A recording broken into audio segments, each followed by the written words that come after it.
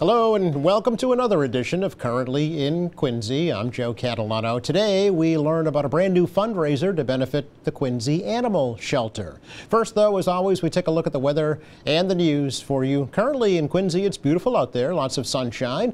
44 degrees right now. Today will turn out partly sunny and mild, highs in the low 50s this afternoon. Dropping off to the lower 30s this evening under partly cloudy skies and really warming up this week, but it comes with some stormy weather. We've got rain moving in tomorrow night. Highs tomorrow, though, up around 60 degrees. Looks like the rain and the wind will continue through the day on Wednesday. Still pretty mild Wednesday. Highs in the upper 50s. Temperatures drop off Wednesday night, though, and the precipitation could end as some wet snow Wednesday night into early Thursday morning. Then clearing out on Thursday, windy and much colder. Highs Thursday only in the mid 30s. We will uh, warm up again for the first day of March on Friday. But right now we have lots of sunshine and 44 degrees here in Quincy. Checking out news for you today, a proposal for a new development in Quincy Center that may include a Trader Joe's market is now moving forward. The Quincy Planning Board last week unanimously approved of that proposal for a seven-story, 300-unit apartment complex with ground-level retail that could be a Trader Joe's. The plan also calls for an eight-story, 987-space parking garage that the city would fund. DJ McKinnon from Atlantic Development says a portion of the new garage will be set aside for residents of the new apartment building.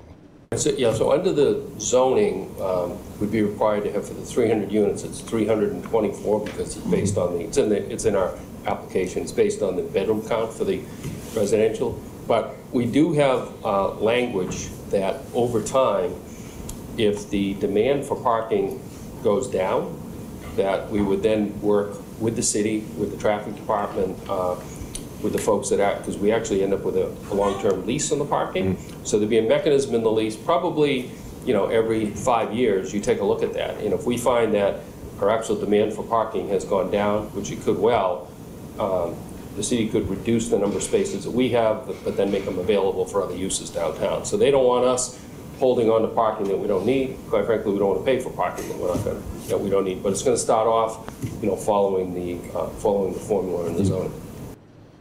So the new project would go with the current site of the IHOP restaurant that the city took by eminent domain and paid $9.4 million for. City then sold the property to Atlantic for 7.3 million. During the hearing last week, several local union members urged the developer to use responsible local contractors on the project. Atlantic hopes to break ground later this year. Early voting continues this week for the March 5th presidential primary election. Voters may cast ballots in the Great Hall at Quincy City Hall today through Friday from 8:30 a.m. to 4:30 p.m. Uh, tomorrow at 5 p.m. is the last day and hour to request a mail-in ballot for the primary. Mail-in ballots are due back in the city clerk's office by March 5th at 8 p.m. City Clerk Nicole Crispo says in-person voting will also take place on March 5th from 7 a.m. to 8 p.m. and that some improvements have been made to some of the polling locations based on voter feedback. Ward 6, Precinct 1 and 2 at North Quincy High School. Everybody is accustomed to voting in the, the gymnasium. However, um, you know, we've brought on the poll pad and we're um, eh, to check in. And what's important about that is just to have um, places to plug the poll pad in. And so for that, we've um, decided that to vote in the cafeteria would be easier because there's more um, electrical outlets in the cafeteria. Same entrance as um, their the Hunt Street entrance um, will be utilized. However, we're working with the superintendent and school security. We think that we're it's a straight shot down to the cafeteria that we'll try to leave one door open in the front of the building, which we've heard for you know many years that people like to park in the front there. So um, we're going to try to leave one door open in the front and um, which will be door number four. We'll have signage there. um, and a security officer there at the front so people can go right down and vote and come right back out at the front of the building. Um, Southwest Middle School, Ward 4, Precinct 1, and Ward 5, 1 um, Granite Street, parking in the front and in the side lot. We understand that people like to park in the back. However, um, we were still working it out. There's still some logistics um, there, but we encourage you to park in the front of the building. Like I said, there's no school. You can park where the buses pull up. You can park on the side. We did have some people holding signs in the in the um, local election, which we don't anticipate for this one.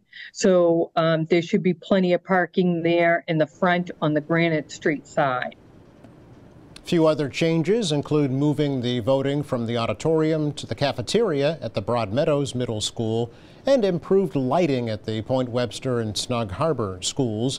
As Nicole said, there's no school on March 5th because of the primary. Crispo is predicting anywhere from a 25 to 38 percent voter turnout in the primary election. Well, a Lowell man will be back in Quincy District Court tomorrow, charged with shooting another man who was sitting in a car parked in Quincy earlier this month. 34 year old Daniel Rivera facing attempted murder charges after police say he shot the victim in the thigh while he was sitting in a car parked at Elm Avenue and Marlborough Streets in Wollaston at about 2 a.m. on February 16th. The victim was treated and released from the hospital. Police say the victim is the ex boyfriend of Rivera's current girlfriend and that the two men had a confrontation earlier that night in the woman's nearby apartment. Rivera was arrested later that day at the CVS on Beale Street. Police say they also found drugs on Rivera and in the victim's car. Officers also recovered two shell casings and a bullet fragment from the shooting scene. Rivera has pleaded not guilty to charges including attempted murder and drug and firearms violations. He's been held without bail and will appear for a dangerousness hearing tomorrow in Quincy District Court. Well, now that funding has been approved to begin planning the Quincy 400 activities for next year, city leaders say they're moving forward in organizing events and booking dates. City Council recently approved spending $600,000 from the city's hotel motel tax fund to pay for the planning.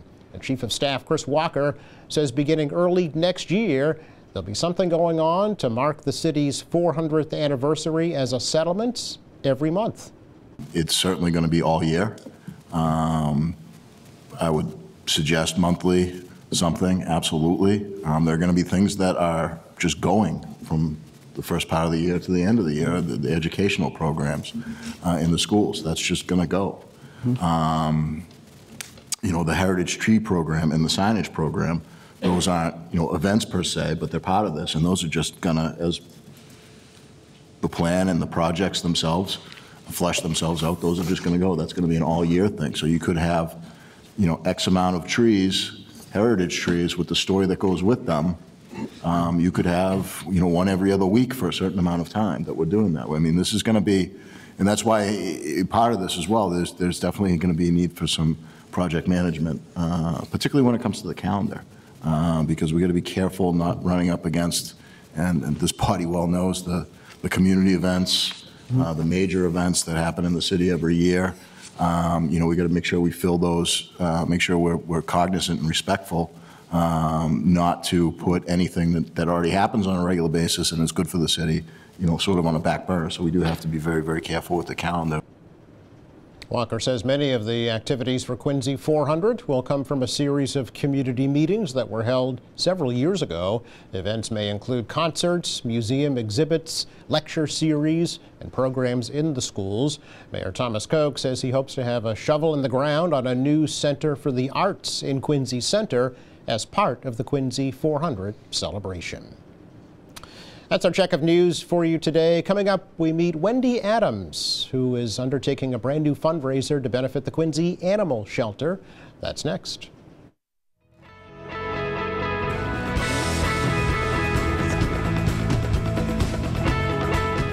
Welcome back. The Pooch playoffs are underway to benefit the Quincy Animal Shelter. You've heard of March Madness, right? This, is, I guess, Mutt Madness uh, photography uh, competition to benefit the shelter. And Quincy photographer Wendy Adams is spearheading it. She's here to tell us all about it. Nice to meet you, Wendy. Nice to meet you too. Yeah, thanks for coming over. Appreciate Thanks it. Thanks for having me. You are very welcome. A lifelong Quincy resident. Yes. Right? And a photographer right here in Quincy. Yes. So tell me the Wendy Adams story before we talk about the shelter and the fundraiser.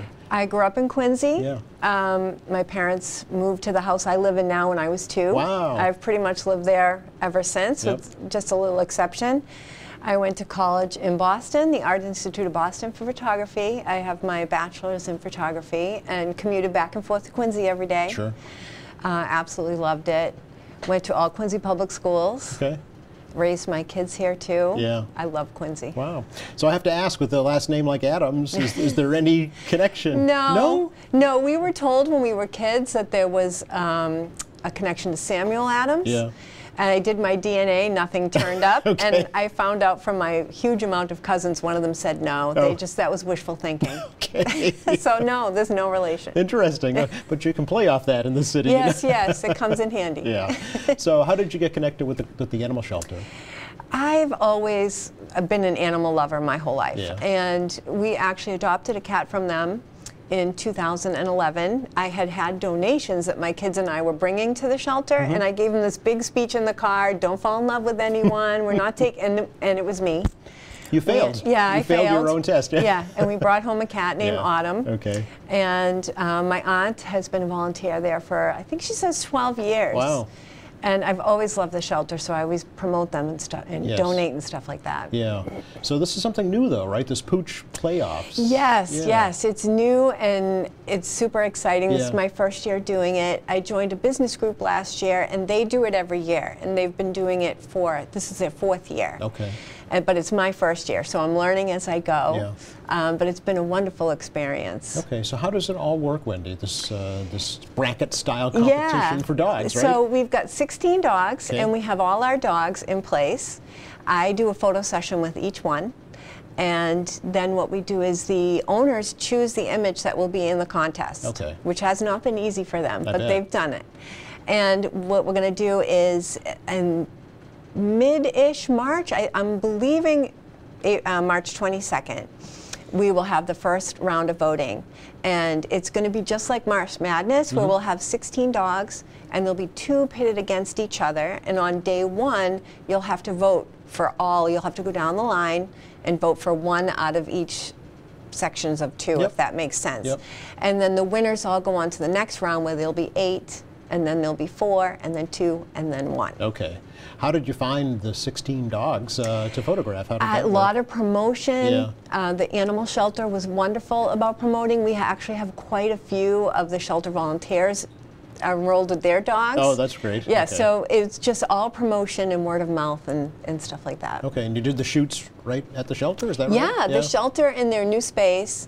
They have a great space. We're actually using their break room. So we're just cleaning everything out. And it's perfect because you can't hear the shelter animals. So our dogs can come in and go out and they won't get stressed out by hearing lots of barking. Okay, all right. And you brought an example uh, of what uh, a photo might look like, right? Yeah, this is So who, who is this? this is actually one of my dogs. I have three. This is Daisy. She loves to wear things, so I had to put like a daisy on her head. Now this is not Photoshop, right? You actually No, this is actually Okay. her wearing it. That's why she's got that look on her face. like get this thing off of me. why are you doing this to Yeah, me? okay. Um, but yeah, so sh- this is just a sample. She's not in the contest. okay, uh, uh, well, you, you can't compete because obvious at her. conflicts, right? Yeah. And she'd win out hands hands at her. down, right? Paws down for sure. Yeah, we have so many cute animals Yeah. though. So now, do the uh, do the people who uh, participate get a copy of the photos? They have work? the opportunity to purchase Oh, okay. products. I sell products.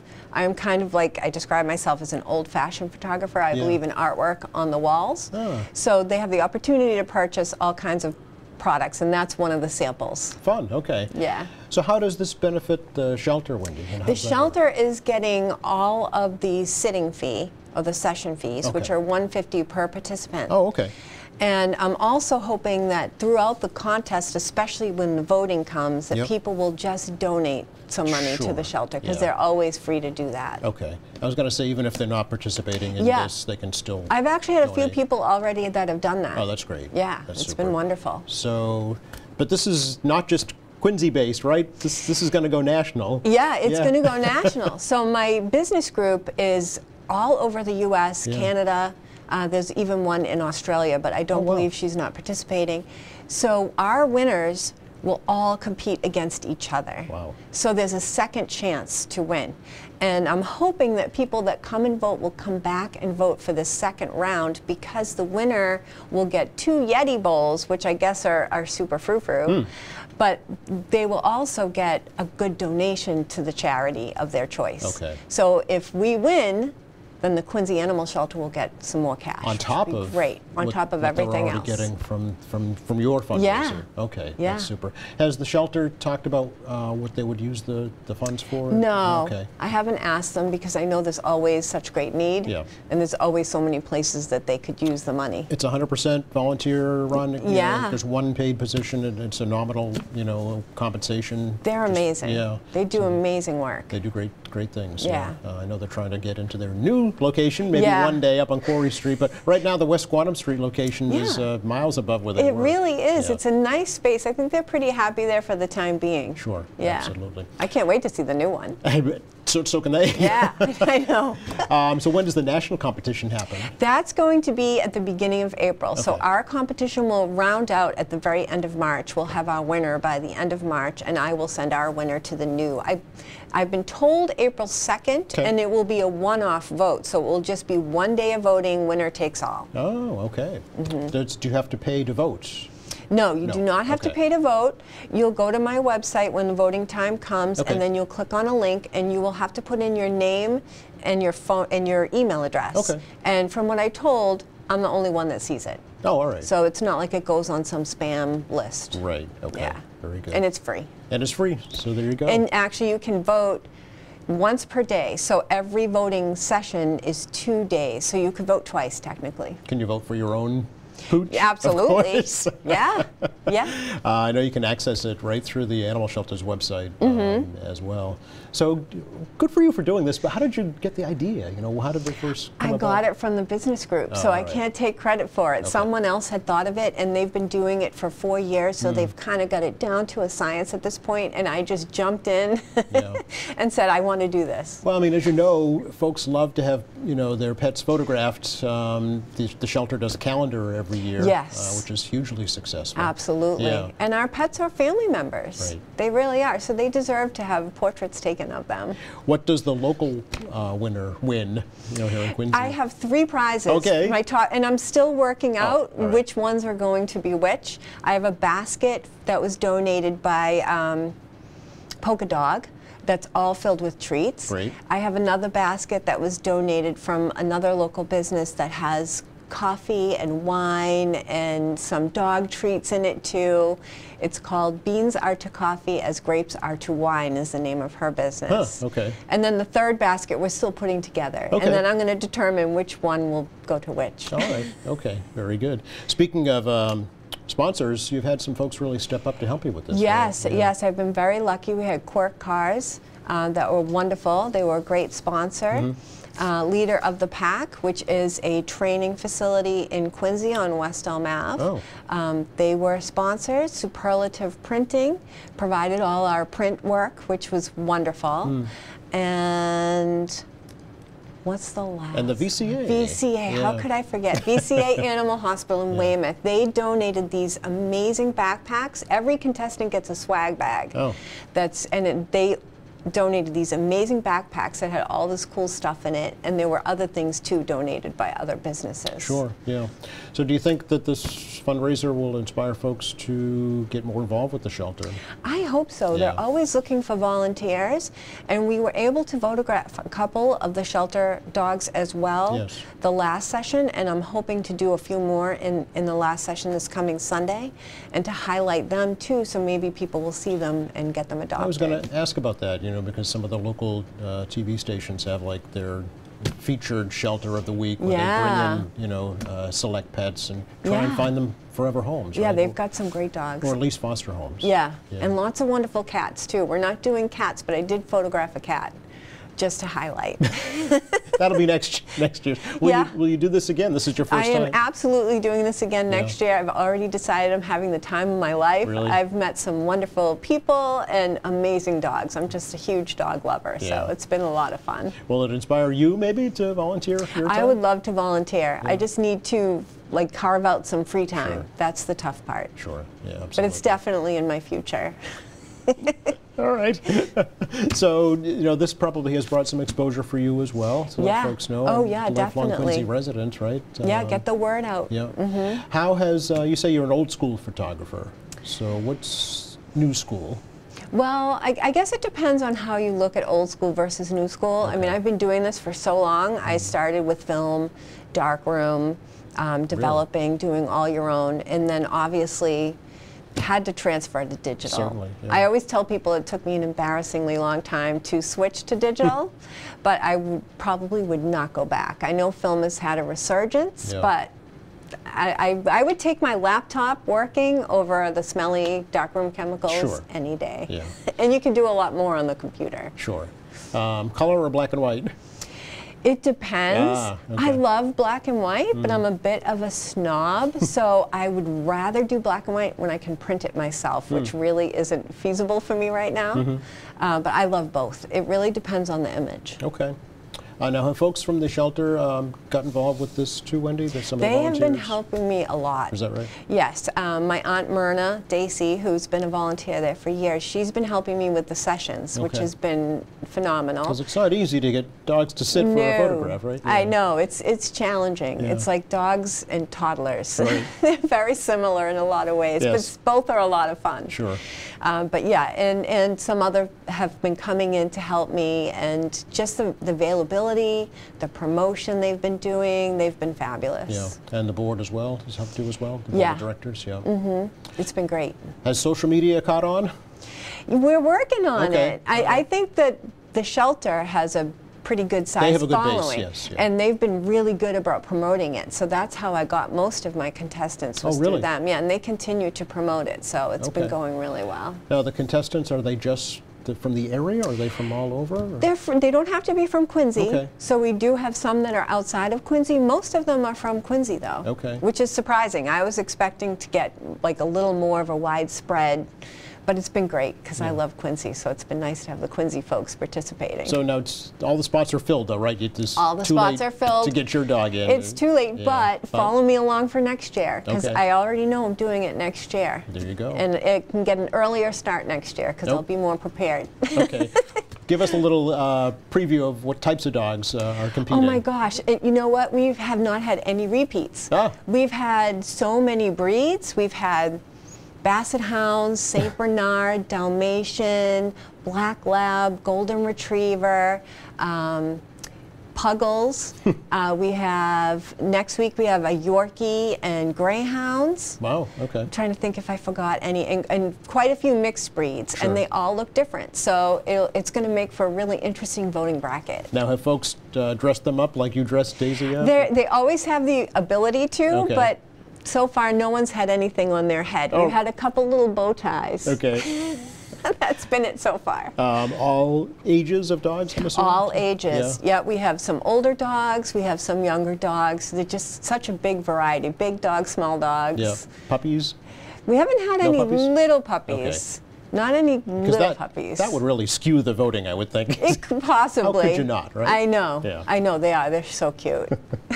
Uh, so again, uh, how do folks participate? How do they how do they vote? Because it's too late to enter. So yeah. So in order vote. to vote, you just go to my website, Okay. and I will have all the instructions on the website. There's a landing page when you go to my site. Click on Pooch Playoffs. Okay. And I'm keeping it updated too, so there's been information up there all along. Okay. And when I have definite voting dates, everything will be listed there, and there'll be a link. They can just click on the link, and that will take them to the voting site. Yep, and you can get through that through the shelter's Yes. website, or we've been putting your phone number up too, if that's okay. Yeah. So folks can give you Yeah, a call absolutely. if they have questions. Mm-hmm. Okay. Anything else we should let folks know about right now, Wendy? Oh, I think that's about it. Just please vote. Yes. especially for the end one, the very last one. That's going to be high stakes. National I'm competition, competitive. Yeah, I want to win. All right, all I want our dog to win, and I, I have no idea who is going to win. They're just they're all they're all so adorable. Yeah, it sounds like fun, and it's for a great cause. It is for the shelter. Yeah, it's been a great time. Thanks for coming by and sharing with us. Uh, Thanks for having me. You're welcome. Hope we help uh, get the word out for you. Thank you so much. You're very welcome. Check the forecast for you for the rest of the day today. Lots of sunshine. It's actually kind of the nicest day of the week, so get out and enjoy it. It'll be a highs in the low 50s this afternoon with a mix of sun and clouds, down to the lower 30s this evening. A little warmer tomorrow, but by the end of the day tomorrow, things are going to start to turn as some rain moves in. Looks like a windy, wet, and mild day here on Wednesday with highs in the upper 50s. And uh, turning colder for the last day of February on Thursday with highs only in the mid 30s. Thanks again to Wendy Adams for joining us to help out the Quincy Animal Shelter Pooch Playoffs. Thank you. Thanks to our crew. Thank you for watching Friday here on the show. Albina stops by from the Quincy Quarry and Granite Workers Museum. Meantime, visit our website anytime. It's qatv.org. You'll find our latest programs. There's news and information, video on demand, live streaming, and much more. For all of us here at QATV, I'm Joe Catalano. Have a great week.